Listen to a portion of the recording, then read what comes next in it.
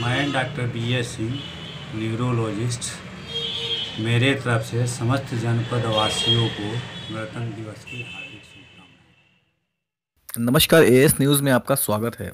UP के गाजीपुर में जहाँ नगर क्षेत्र के MD little flower school Amghat Surendra Nagar Ghazipur में गणतंत्र दिवस के अवसर पर प्रबंधक महेंद्र सिंह कुशवाहा ने ध्वजारोहण किया एवं भारत माता एवं सरस्वती जी को चित्र पर दीप जलाकर कार्यक्रम का शुभारंभ किया।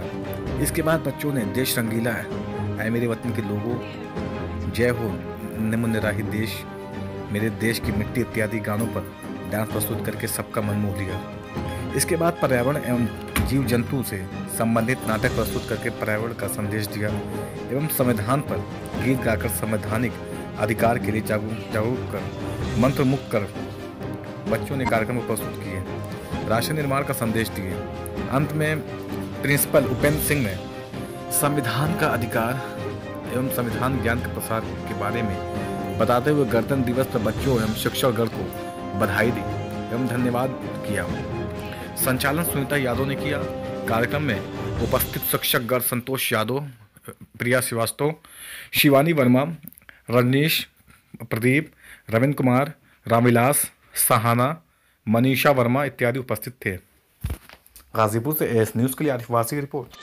आज गणतंत्र दिवस के पावन पर्व पे विद्यालय परिवार की तरफ़ से ध्वजारोहण का कार्यक्रम किया गया। और बच्चों के द्वारा रंगारंग कार्यक्रम की प्रस्तुति कर गणतंत्र दिवस मनाया गया।